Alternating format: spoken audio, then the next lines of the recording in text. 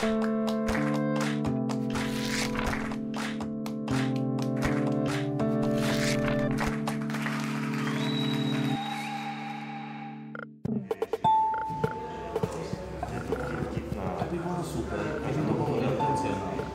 knižky vstupujú do tej ligy, ktoré je Vilikovský. Vilikovský vyhral celú túto vec iba raz.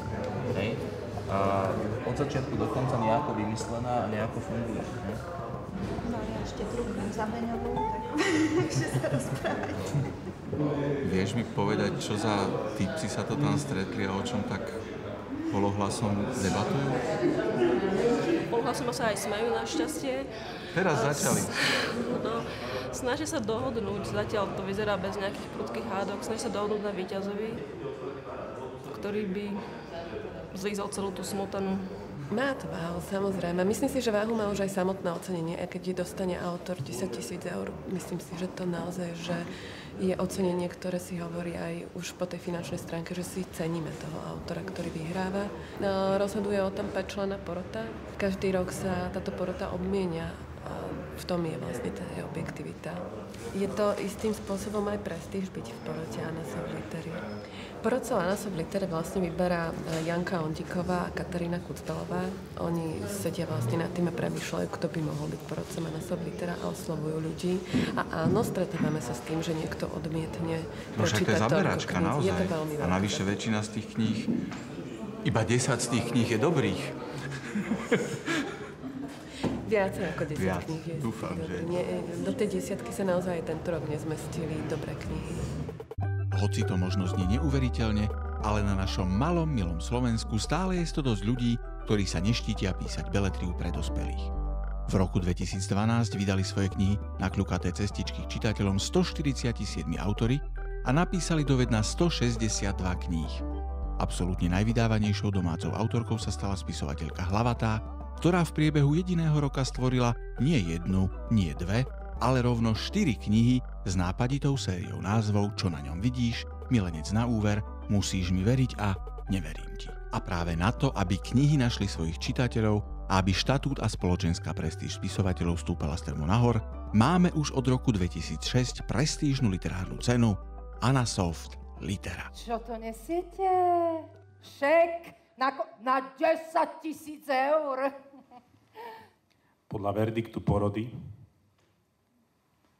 cenu získava kniha Tam, taradám! Keďže, ako povedala Mária, o finalistoch a výbere desiatich knižných titulov rozhoduje každý rok porota v inom zložení, spisovatelia a vydavatelia musia rok od roka pochlebovať a neskôr nadávať na peticu v inom zložení.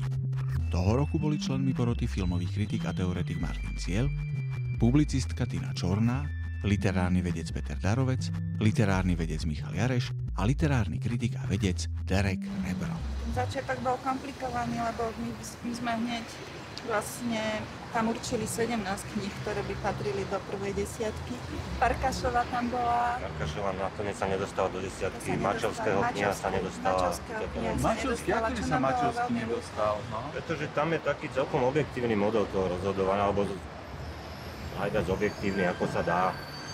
Že je na to taká špeciálna tabulka a rôzne, taký systém bodov sa udeluje a, a nemôže jeden človek z tej pečlenej poroty to ovplyvniť až tak, že by sa nejaký jeho obľúbenec dostal aj po teda diskusiách a iných veciach, lebo tá porota bola dobrá podľa.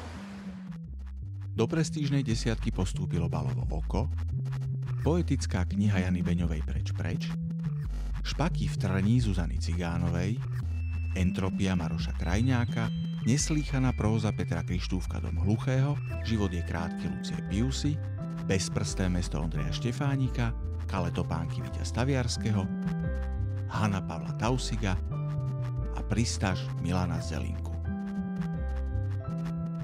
A na Softlitera nie je len cena pre najlepšiu knihu, ale kontinuálne úsilie podkladať domácemu publiku domácu literatúru na frekventovaných miestach a v atraktívnom prostredí. Nie je reč iba o májovom festivale, projekt je Živý bič, ktorý prináša možnosť osobne stretnúť spisovateľov, ktorí sa čo nevidieť ocitnú v aktualizovaných vydaniach školských čítaniek, ale aj o už tradičnej prítomnosti finalistov v chládku literárneho stanu na horúcej betónovej ploche Trenčianského letiska. Bič e, vo výbere Anasoft Litera je tá najväčšia reklama pre knihu. Myslím, že to by nespravilo ani 10 billboardov, ani 20. Písanie kníh je môj najdrahší koníček, pretože ma to väčšinou stojí veľa času a peňazí. A dáva mi to hlavne dobrý pocit z toho, že, že som urobil niečo, čo sa povedzme páči čitateľom, alebo mám hlavne ja sám pre seba dobrý pocit, že sa mi to povedzme istým spôsobom podarilo urobiť. Tak Dom hluchého je čiastočne historický román, aj keď ja by som túto kategóriu veľmi, veľmi nepreceňoval a nie som ani literárny vedec, aby som to mohol takto povedať. V každom prípade je to, je to román, ktorý má 550 strán a pojednáva o slovenskej histórii. Chcel som porozprávať tento príbeh z hľadiska človeka, ktorý povedzme to obdobie od 30 rokov až po rok 2004 zažil priamo na vlastnej koži počas celého svojho života. Takže rozpráva syn jedného z týchto ľudí, volá sa Adam Trnovský, ktorý má veľmi jasné a kritické a cynické názory na všetko možné, akurát, že podľa nich málo kedy koná.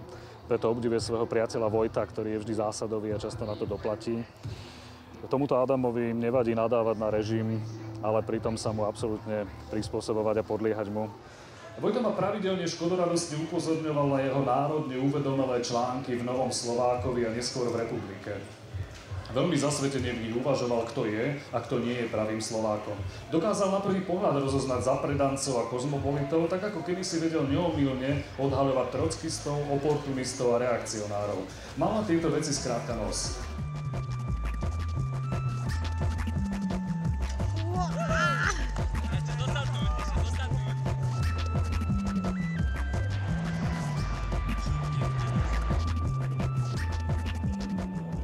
To, že som teraz druhý raz za sebou nominovaný na cenu Anasoft Litera pre mňa znamená hlavne to, že to asi svedčí o aj istom vkuse poroty, lebo som si istý, že, že tie moje knihy, to písanie nie je, nie je príjmané nejak všeobecne pozitívne. Všetky pochybnosti, ktoré stále mám, e, ostávajú ďalej, pretože celú vec stále skúmam, to moje písanie skúmam všetkým ja sám. To znamená, že keď si ja nemyslím, že vec má nejakú úroveň, tak to, tej veci nepomôže ani 100 cien na soft litera. Táto knižka, oko sa mi v podstate ako zvyčajne dosť roztrieštila. Mal som príliš veľa drobných nápadov a žiadny veľký. Takže ako vždy, urobil som z toho takú koláž, pri ktorej som sa snažil, aby každá veta bola eh, z môjho pohľadu dokonalá a aby tam neboli myšlienky, ktoré som čítal niekde inde, e, rovnako vyjadrené, alebo aspoň dosť dobre vyjadrené. Takže pokúšal som sa urobiť všetko to, čo som chcel, tak, aby to bolo originálne a podľa mňa svižné, ale určite to nevyšlo. Mám z toho taký pocit, že treba urobiť niečo iné a inak. Ten, môj názor je ten, že, že spisovateľ, ktorý naozaj e, chce čo si vyjadriť, a nie iba obchodovať s nejakými, nejakými knihami a nejakými textami, zabávať publikum, tak každý, každý sa snaží o vyjadrenie jednej obsedantnej, veľkej svojej témy. E, moja veľká téma je téma osamelosti, povedzme to tak, alebo nemožnosti byť naozaj s tým druhým.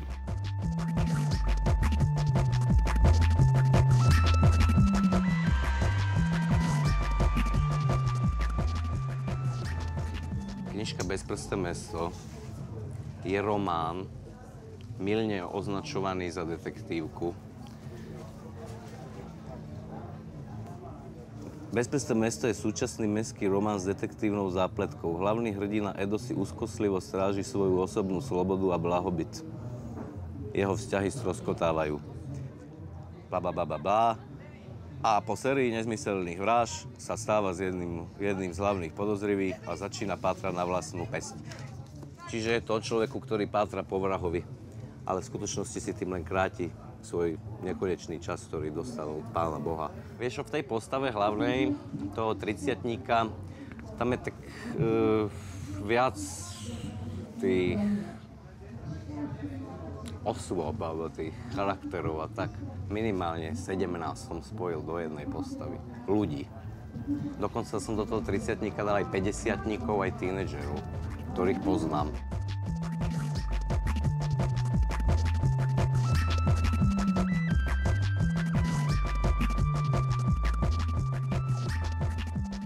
je veľmi dobre robená tá cena, že propaguje všetky tie knihy dlhodobo. Aj tie, ktoré nevyhrajú tú prvú cenu, alebo proste robí dosť okolo tej knihy bu, bu, bu a potom sa tá kniha tak dostane medzi čitateľov, kto, medzi ktorých by sa nedostala.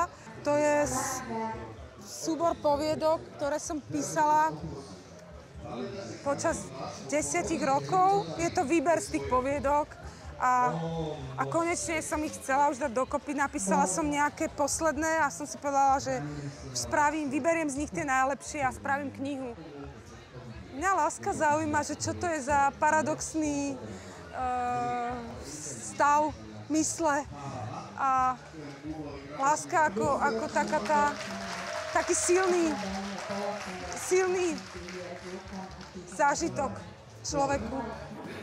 O čom je život pre spisovateľku, ktorá čaká dieťa a píše fantasy? Píšeš? Už teraz nepíšem, lebo už som tehotná a nemôžem žiť šialeným životom e, vo vlastnom svete.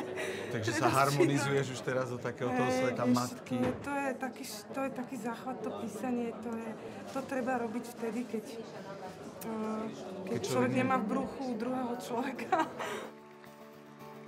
Cenu čitateľov denníka sme si odniesla Lucia Piusi spolu so synom Ferkom, ktorému touto cestou posielame kyticu boskov.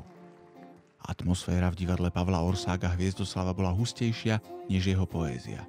Nervozita nominovaných prozaikov, vydavateľov a milovníkov literatúry rástla, pretože všetci túžili, aby sláva a šek na 10 tisíc eur skončil v správnych rukách. Medzi hraním divadla a filmu je dosť veľký rozdiel, ale medzi písaním a hraním nie je až taký rozdiel. A to ma práve zaujíma. Uh, vždycky proste sa snažíte nie teraz uh, pri písaní nie cez svoje telo, ale len cez svoje pršteky uh, povedať, čo si o tých veciach myslíte, alebo o tých ľuďoch, alebo o, ja neviem, špine v Bratislave a tak ďalej. A, tak A píšete prstami, alebo, ďalej. Ja píšem prstami. alebo celým telom? Myslel som, či sa No, to rodí v je- prstoch, jedno alebo je- sa to najprv rodí v hlave. Ako je to? Keď uh, píšem, tak ak sa ma to nedotýka všade, tak to nie je dobre. Napríklad, keď sa píšu láskové scény, tak sa to človeka musí dotýkať celkom všade. A čo píšeš teraz ty? Rozpísal som jednu vec, ktorú by som chcel dokončiť tohto roku. A, a opäť je to z tohto prostredia, z ktorého sú aj prvé dve knihy. Už sa tak aj hovorí vlastne, že sa očakáva akoby pokračovanie, A ja že, som- že by to bola pekná trilógia. Áno, no, no, to tak z kontextu logicky vyplýva, ale ja som to už aj avizoval v nejakých rozhovoroch, že to bude, že to bude z prostredia Karpat. Takže to mám od teba asi, A informáciu. možno to máš aj do mňa, alebo si čítal nejaké rozhovory. To je priateľská edícia. Pán Tausik je môj priateľ, máme spoločných priateľov. Keď som sa dozvedel, že má zaujímavý rukopis, vydal som ho a ten rukopis je nadmieru úspešný. Veď to práve ma zaujíma, že či to s vami nejako nemáva, lebo však jeden, jedna z desiatich najlepších kníh, ktoré boli vydané v roku 2012, to už je nejaký honor, nie? No však áno, však sa z toho aj veľmi teším. Strávili sme nad ňou a s rozhovorom s Pavlom Tauzikom nekonečný čas, keď sme ho odhovárali. On sa strašne ochrániť, panenstvo Hany napríklad. A my sme ho nahovárali, že nie, že no, musí ho vsadiť ona v sácko. A on niečo prijal, niečo neprijal. Toto Hanine panenstvo prijal. To mi tak utkvelo v pamäti, jak on strašne chcel ochrániť pred zvodmi tohto sveta. A zatiaľ, čo my sme viacerými hovorili, že musí obetovať toto pre záchranu svojho otca a tak on potom na to pristal. Ale niektoré veci ne, neustúpil. Um, a myslím, že to je dobré. No však je autor, tak um, nemôže si nechať radiť. Tam, taradám! Povedz nám niečo o slovenskej literatúre. Pod muflónom? Pod muflónom. No, tak slovenská literatúra, ako všetky malé literatúry, je e, zaujímavá práve pre obyva- by mala byť zaujímavá práve pre obyvateľ tejto krajiny, asi nebude nikdy zaujímavá pre zbytok sveta, na to je naozaj asi príliš malá. Ak nebude zaujímavá pre Slovakov, nebude zaujímavá ani pre ten zbytok sveta. A to je možno aj trošku jej problém, že a, nie až tak veľa Slovákov sa zaujíma o slovenskú literatúru, hoci si myslím, že by tam našli zo pár vecí, ktoré by ich bavili. Možno je tá otázka príliš všeobecná. Možno sme No tak ju zúžme, tak ju zúžme. Zúžme ju rovno na 10 titulov, ktoré vyšli minulý rok. A tých 10 titulov teraz v podstate je v takom tom kotli, kde ich varíte a hľadáte, že ktorý z nich sa stane držiteľom ceny Anasoft Litera a neuveriteľnej astronomickej čiastky 10 tisíc slovenských eur. No, ten výber bol taký dobrý, že sa naozaj nevyberalo z toho ľahko. Čo je len znak toho, že tam bolo 10 kvalitných kníh.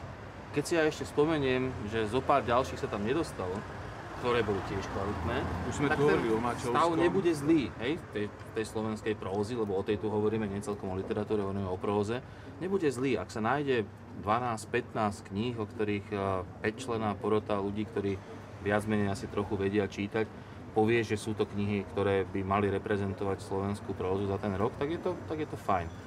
Je to normálne, že, že inostranec číta slovenskú literatúru? Já si myslím, že v rámci někdejšího Československa to normální ještě je, ale jinak to moc normální není. Jo, že myslím si, že současná generace Čechů slovensky úspěšně zapomíná a mocí jako slovenská literatura nechává chladnout. Ten jazyk je velmi příbuzný. Slovenská literatura je v posledních letech možná víc experimentální, víc jde po jazyku, víc je hledačská než ta česká, která má zase jako tu tradici třeba v Hrabalovi nebo v takovém tom ukecaném vyprávění. Áno, lebo tak ako na Slovensku je úplne bežné čítať po česky, Ale aj, aj, aj, aj vďaka tým prekladovým To je ten veciam. průšvih, že prostě v, v Čechách je jediný knihkupectví, kde seženete slovenské knížky. Navíc jako má otevříno prostě pár, pár hodin, lidi tam nechodějí. Tady, když jako dávají filmy dabovaný, tak jsou v češtině dost často, což jako Na eh, u nás prostě ta, ta, ta slovenština tam jako chybí. Jo. V knihkupectvích, u nie? no, no, no, v knihkupectvích normálně seženete, seženete vedle slovenských knížek jako český překlady, české knížky. To v Čechách neexistuje. Bohužel. Je mi to hrozně líto, ale jako Češi v tomhle tom jsou pitomí. jo. No máte smolu. je mi vás ľúto.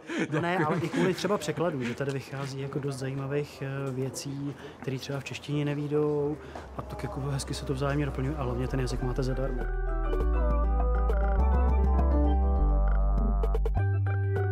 Kniha to je sen, to je príbeh. To nemá nič spoločné s tým, že niečo musíš robiť v práci. Veď Nie? to je... Nie. Kniha? Nie. Vieš, čo sa namaká taký krajňák, kým napíše Karpatiu? Ale ja nehovorím o spisovateľoch, ale o ľuďoch, ktorí pri nich relaxujú. Predsa ťa zanesú do iného sveta. Vizuálne multimédia, filmy a tak ďalej úplne valcujú čítanie. Ale myslím si, že zďaleka nepodniecujú kreativitu u detí, tak ako čítanie. Lebo pri čítaní si to dieťa musí vytvoriť vlastný obraz v hlave.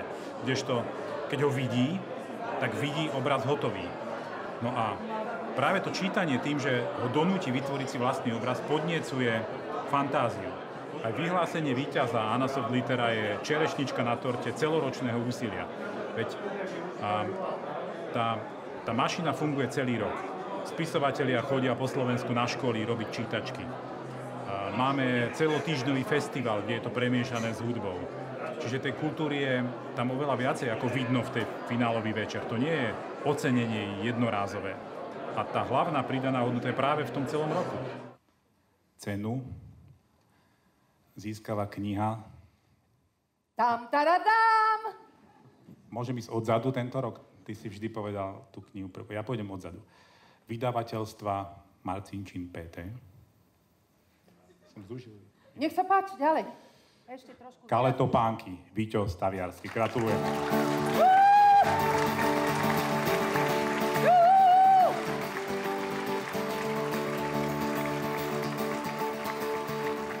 Naposledy som nejakú cenu získal pred 40 rokmi, e, ale to bolo v prekážkovom behu. No aj toto bol taký prekážkový beh, tak troška... No a ďakujem pekne. Víťaz tohoročnej Anasoft Litery Víťo Staviarsky je absolventom Čimelickej filmovej priemyslovky a scenaristiky na Pražskej FAMu. Pracoval ako kulisár, ošetrovateľ v psychiatrinci či na záchytke, neskôr ako výčapník a predavač. Dlhodobo podniká v maloobchode a popri tom, ako každý spisovateľ, zbiera námety a skúsenosti. Do finále Anasoft Litera sa dostal už debutom Kivader, v roku 2009 pokračoval zbierkou pro záchytka a v roku 2012 prepracoval do literárnej podoby filmový scenár Kale Topánky. Vy nie ste na takomto podujatí poprvý raz, však, pán Marcišin? Neviem, čo na to povedať. A nie, nie som, nie, druhýkrát. Druhýkrát? Nie, viac, bol som viackrát. My sme figurovali trošku tak akoby sponzori, ale nie naše vydavateľstvo, ale nejaká inštitúcia. Ale autorov máme až, myslím, že dva alebo tri roky. Trikrát sme možno boli. S akými knižkami vlastne? Šmara, teraz ma skúšate. Ježiš, nie, ja si len neviem spomenúť. Mal by som to vedieť. Musíš, že autory by sa urazili. No mali sme Petra Krištúvka viackrát, ako finalistu teda. Tohto Krištúvka ste ale nevydali vy. Áno, Vydal vy som, ste tu mali dve knižky rovno. Ja som tu mal tri knihy. Komu ste držali? Tri knihy? Tri knihy. Kto je tretia kniha? No je Janka Beňová. A Jana Beňová je Peter vaša. Krištúfek a víťaz. No to vy ste to tu večera. normálne ovládli dnes. To nehovorím tých, čo som odmietol a boli tu. Naozaj ten, ten víťaz Taverský je ten, na ktorom sa zhodli všetci piati porodci od začiatku. Bol medzi tými vlastne vybranými pre všetkých, pre všetkých porodcov, čo je dobrá správa o tom, že to nebolo nejaké vlastne, varenie z vody, ale že naozaj e, je niečo v tej knihe, čo dokáže osloviť široký, široký okruh rôznych čitateľov, lebo v tej porote sú naozaj veľmi rôzni čitatelia, ktorí chcú od knih relatívne rôzne veci, pritom, že hľadajú kvalitu, samozrejme, ale každý ju hľadá v niečom inom.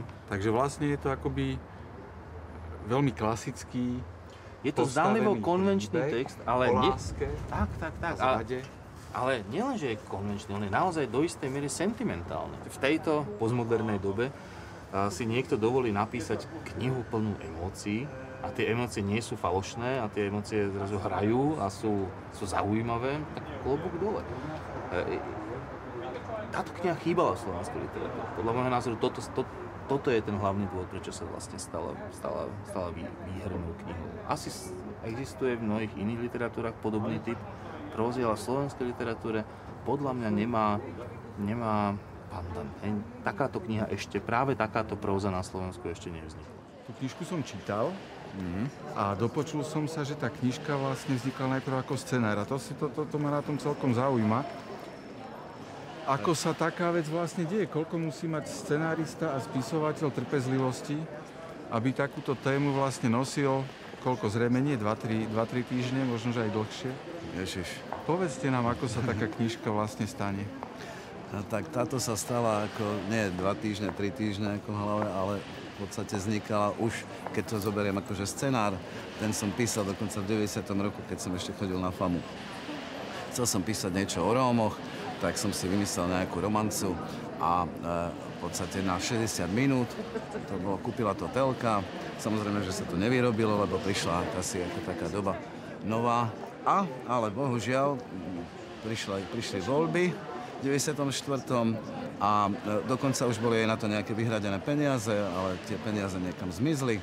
A zase sa netočilo. Po tých peripetiách som vlastne, keď som strašne veľa očakával, že sa to bude točiť, no konečne zase a tak ďalej, že som tak trošku zanevrel a dal som sa na literatúru, vlastne túto Kaliho Magdalu som ako v súťaži ako nejak troška bodoval, no tak ma to troška povzbudilo, až po nejakých tých ako literárnych ako nejakých úspechoch a som sa rozhodol, že to prepíšem teda ako do literatúry. Hej. Takže som to pretavil znovu a znovu sa som sa s tým píšal 4 roky, teda 4 zimy, lebo len v zime píšem. A, a, a nakoniec vzniklo toto. Fakt som si s tým nevedel poradiť, ako to uchopiť, akože naozaj zvonku, ako cez, cez ako mňa, ako cez, alebo cez nejakého objektívneho, ako nejakého vykladača dejov, ale nakoniec som zvolil vlastne takú, taký kompromis a, a urobil som to skrz rozprávačku. Tá v scenári pôvodnom nebola? N- Vôbec. Táto, Aha, takže tam to nebol rozprávač. ako figúra, figúra bočná. Toto je vlastne romanca. Ako, A chlap nebude rozprávať romancu, povie inú historku. Ale takže najlepšie by bolo, keby to rozprával niekto, kto je dosť citovo angažovaný alebo zažil niečo podobné a Sabina a Vrana zažili niečo podobné, akorát Vrana tomu podľahla a Sabina sa vzbúrila. To je tak, taká tá kolízia toho. A kto bude režirovať teraz ten film? Tuto tento pán v Pruhovanom? No tento pán je môj syn, no, a študoval režiu. No, preto sa pýtam, ja som ho videl na cviku. Uvidíme, uvidíme. Niečo už točil, Andyho ženu zo záchytky. A, a, a, a, keď nejak dozrie čas, O nejakých 20 rokov zase. Trebárs. 30. tak sa to možno aj bude filmovať. Kale Topánky, toho ročného víťaza na soft litera. Aj Šmerdzaci mu vtedy dobre hovoril, že je to rizikový kšeft. Vodný kôň, čo má veľkú hlavu a krátke nohy, práve telefonoval. Od rána do noci telefonuje, ešte aj spí s mobilom v ruke. Ani sa s vami nerozpráva. Má kedy, keď telefonuje? 100 tisíc? To sú veľké love, Ferdy. Ale keď myslíš, povedal šmerdzaci. Pinďo stál vzadu pri aute s rukami vo vreckách a robil sa dôležitý. A pritom niekedy s Ferdin spolu začínali. V starej červenej škodovke chodili. Jarmoky, odpusty, hody aj výstavy. Kúpili pištol za 10 korún, no predávali za 90. Bábiky, čo sa im otvárali oči za 150, ale kúpené za 30. Dvakrát som s nimi bola, ale nechceli ma brávať, lebo večer pili a chodili za ženami. Mali vtedy veľa peňazí, no kúpili si stánok na blšáku a prešli na textil, že bude lepšie. Aj bolo, ale iba rok. Potom sa všetko pokazilo. Všetci začali kupovať u Vietnamcov, takže Pinďo už nevidel žiadnu perspektívu. On stále hovoril – má toto perspektívu? No má toto perspektívu.